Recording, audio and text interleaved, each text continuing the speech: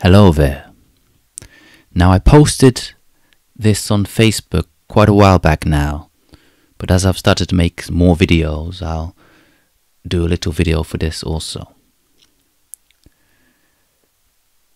Now, the CIA, they run Hollywood and the media and the entertainment industry.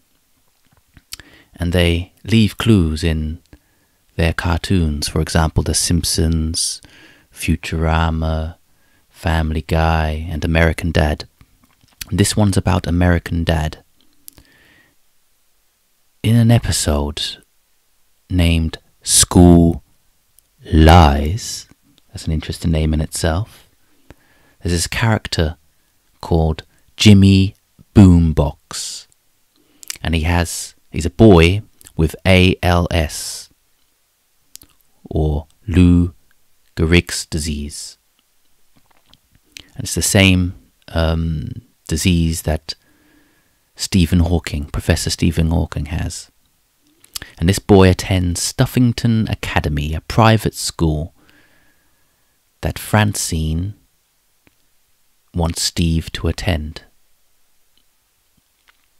Now, Francine, she's like the mother of the um, the series, like Marge Simpson type character, and Steve is her son. Now, her husband, Stan, Stan Smith, he works for the CIA. And as you can see from this picture of Jimmy Boombox, he's standing in front of Stan Smith. Now, with those who have eyes to see and see behind the lines, you'll see Jimmy Boombox, aka Professor Stephen Hawking, in front of Agent Stan Smith, the CIA. So you've got the CIA agent standing behind Professor Stephen Hawking, telling us that the CIA control Professor Stephen Hawking.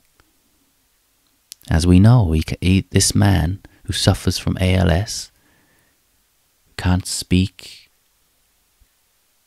can't move, just looks basically like a vegetable there, sitting there.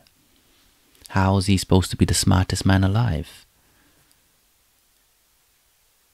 And how has he survived so long? He is the longest sufferer of ALS in history, showing us that the guy there is not the guy who's always been there, if the guy originally suffered from ALS. And there has been actors used here actors playing the part as, of Stephen Hawking. And it's showing you here that the CIA control him.